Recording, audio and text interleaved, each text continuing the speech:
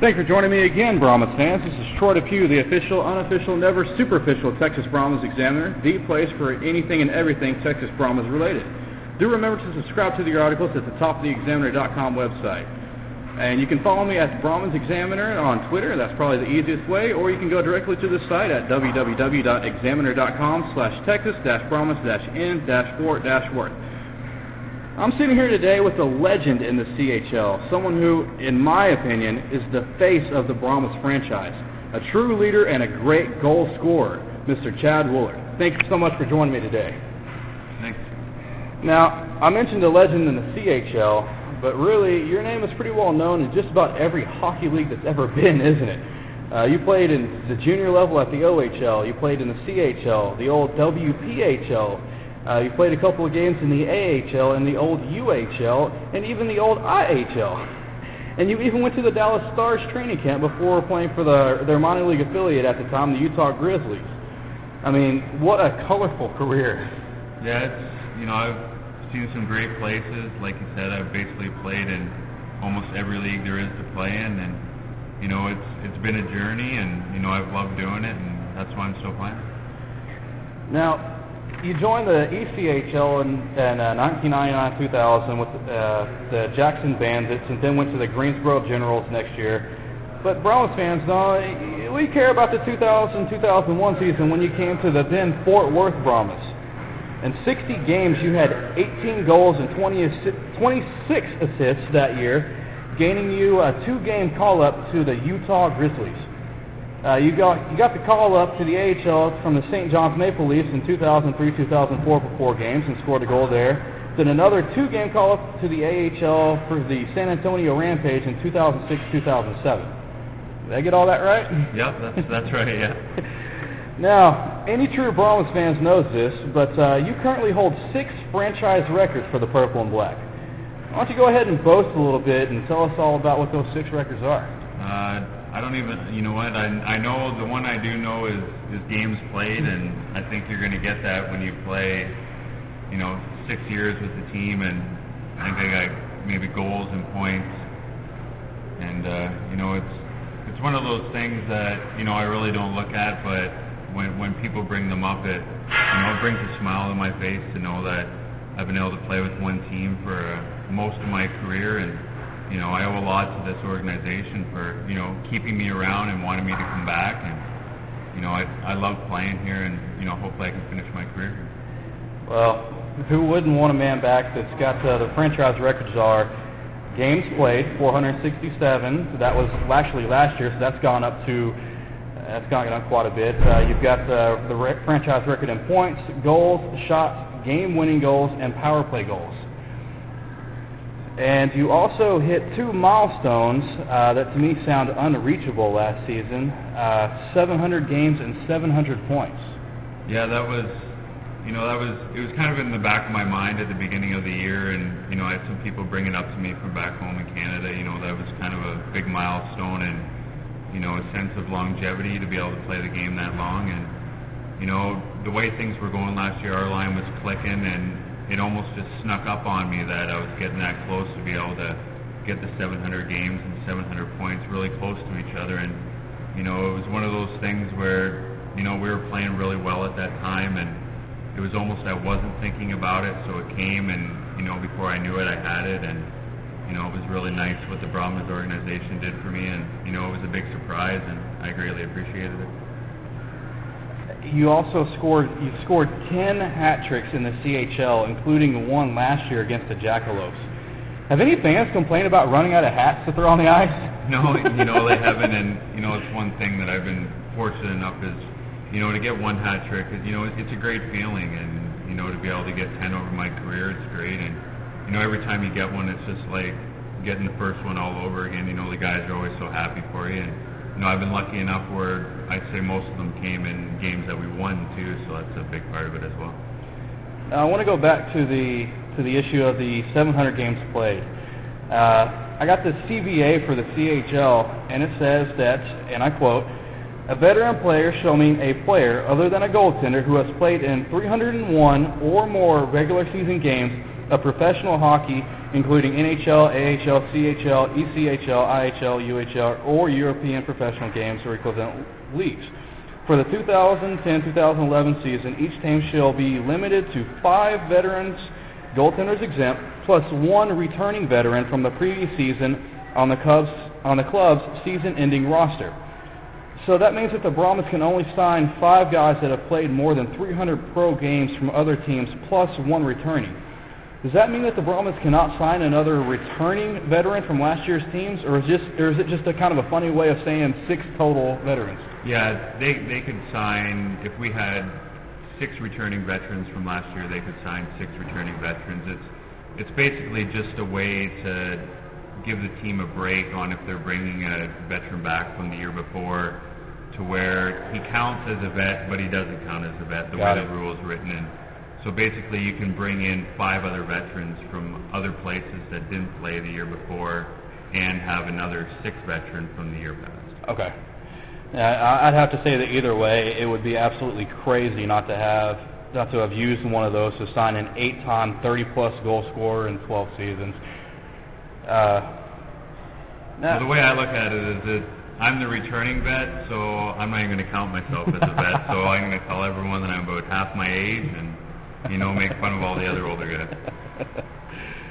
now, if it's all right with you, I'd like to ask a couple of questions, a little bit more personal regarding the CBA. Is that all right? Yeah, absolutely. Now, I know that you got a little guy, uh, Wyatt. Is that is that yep, right? Yep. Uh, he's he's he's actually got the same pair of skates that one of my one of my daughters has. I saw that. Um, looking at the CBA and the minimum pay for, and the salary cap for the team, um, it really can't be easy financially to to make sure that you got enough money to take care of him and all the other bills. Uh, with the minimum being three hundred forty-five dollars a week for rookies and 390 for anyone that's played uh, for more than twenty-six pro games. Obviously, you wouldn't be near the minimum, but the cap for the team is, and I quote yet again, during the 2011-2012 season, the salary cap will be $10,650 per week plus 50% of one exemption player. The league will have the option to go to a flat cap of $11,000 per week. Uh, that doesn't give a whole lot of room for a, a big weekly check to extend out for anyone, does it? No, it doesn't. You know, I've been I've been lucky enough over my career to where you know the team's taking care of me, and you know I think a lot of a lot of it has to go with my wife has had a job the whole time that that I've been playing, and you know without her I probably I probably wouldn't I wouldn't be playing. You know, she's made huge sacrifices to you know the five years that I played here, and then when I also when we moved away, you know she continued to work and you know it's that's the side of it that people don't see is that you know when there's a married guy and he has a family you know my wife has taken on a huge responsibility to you know have a job and be able to let me play a game for you know a living right now and now that I have a have a son you know it's it's become more of a reality that you know I got to keep making good money or you know there's going to be a time when you got to move on and you know I'm probably closer to the end than I am in the beginning that's for sure and you know it's it's something you got to look at every year. But you know, I've, I'm doing okay right now, and I'm gonna keep playing, and I'm not that old. no. Um, is it easier for for a, a young single guy coming in? Is it easier for him financially because he doesn't have maybe maybe have as many bills?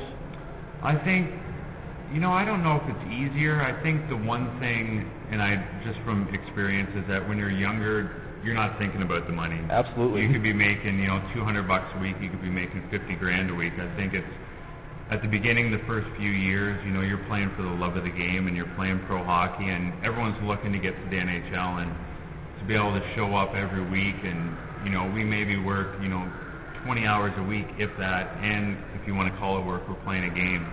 And to be able to get a paycheck every week to to do something you love, I really don't think that anyone looks at it or plays the game for money. And you know, obviously, when you get older and you have a family, money becomes more prevalent, and you know, you got to look at those things. And you know, I'm still looking at it that I'm I'm getting a paycheck every week to live in a place where I have a house and call home, and you know, still play a game that I love. Absolutely, and, and we respect we re- definitely respect that about every player that's playing in the CHL. They're playing for the love of the game. That is absolutely true. Uh, on to lighter topics. Uh, I asked this question of Rulo, and his answer was, without hesitation, you. So I want to know, who would you pick? If you were GM for a day and had to pick just one guy from last year's team to bring back to this, onto this team, yourself excluded, uh, who would it be and why? Uh, well, to be honest, one player that I would love to have back, and obviously he's not coming back, is Greg Hogeboom.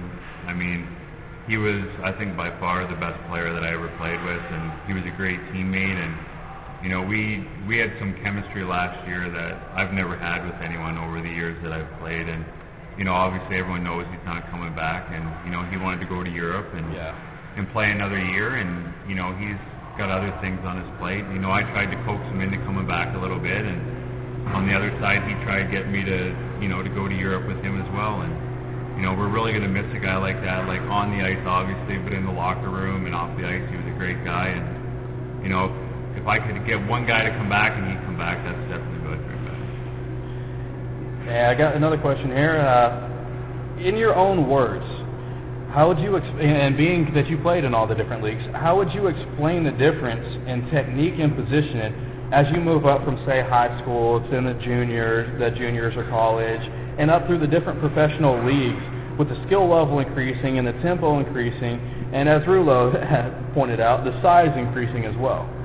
Well, I think you know the the tempo of the game and the pace of the game from when I started to now is you know it's night and day. I don't think the hockey was as good you know 12 years ago when I started. There was way more teams, there was more leagues, and I think now basically with the CHL and the East Coast League, there's no difference in the play. You have guys that think that play the East Coast League, well, I'm going to go to the CHL and I'm going to tear it up. And year after year, you see guys come over and you know they they do okay, but they don't they don't tear it up. It's I think the only difference is, is the CHL is an older league due Right. to the fact that we can have more veterans and the veteran rules higher, and the fact that more East Coast League teams are affiliated where their teams are filled with 22, 23, 24 year olds.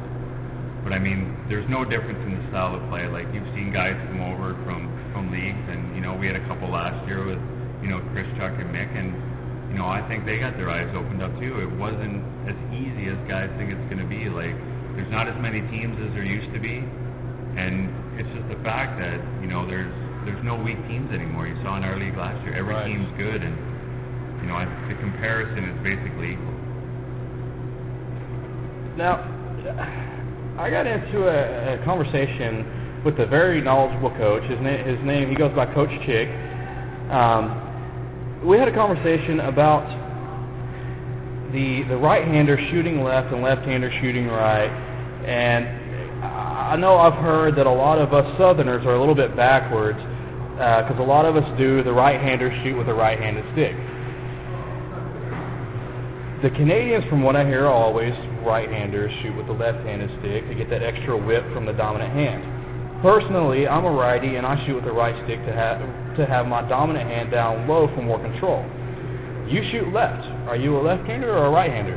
Uh, I'm both. i both hands are are dominant for me, but I think I think it was more of a thing growing up back home. You know, they just handed you a stick and you you turned it whatever way you wanted to when you were young. And I think, to be honest, the reason why Southerners all shoot right is that they ask you what hand do you write with, Yes. and 98% of people are going to say I write with my right hand. Well, all of a sudden everyone's going to think, well, you should shoot right-handed. Right. And you know that's not the case. The way we always taught at home is your parents gave you a stick, it had a straight blade, Exactly. and you you started doing it on your own. You know, and that's you know what I'm doing with my boy right now. He just I don't know what hand he's going to be. Sooner or later he'll figure it out which way is easiest for him, and that's the way they'll go.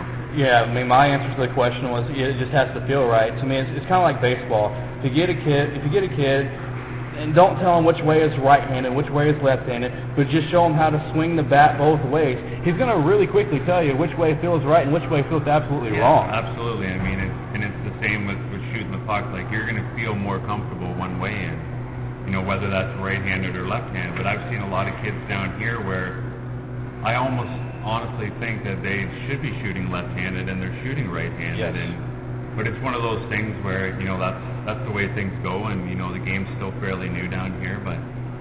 you know, the game's definitely growing from 12 years ago. Definitely, definitely. It's, it's one stats that a lot of people don't quite realize is since the I know since the early 1980s there has actually been more minor league hockey played in the state of Texas than in all of Canada. Yeah, I mean, I think the one big thing is that it's so new that you know people are getting used to it, and arenas are popping up all over the place, and It, it's getting more exposure now. yeah, Uh, and the big thing was the Dallas Stars winning the Stanley Cup. I mean, Ab- as soon as they won the Stanley Cup, hockey blew up, and you had the Star Centers popping up everywhere. right, and I mean that's the game's grown immensely down here. Like there's, I've never seen so many youth youth teams playing, and I think that's great, and that's how, you know, I know the U.S. national program is trying to grow the game, and you know, 10 years ago you were never seeing U.S. kids, born U.S. players being drafted in the first round of the NHL, and now. We thought. I mean, we just we just heard Mike Modano retire. He was one of, one of the first American-born players to get drafted first overall. Yep, and now you're seeing more and more, and it's just, I mean, overall, just it's become a global game. Like even over in Europe, I mean, they've gotten a lot better, and it's just the balance of play is definitely equaled out. Well, that does, just about does it for time. Uh, again, I thank you so much for taking the time to meet with me. And uh, just a personal note, uh, what? One last question before we go. What was the Woolly on a Stick program that they did last year? Uh, I think it was just what it was is they just did a little promotion with the 700 points in 700 games, and I think they handed out 700 of them, and it was just something little they did, you know, kind of as a little joke, and you know, just to get me Oh, going man. a little bit. But you know, it, it's something I appreciated. You know, Mike Right. Bayrak's always thinking about good things to do up there, and you know, they've they've done some great things over the year, and I got a kick out of it. All right, I appreciate it very much. Have a good day. Absolutely, no problem. Look forward to Thank seeing you on the ice. Hey,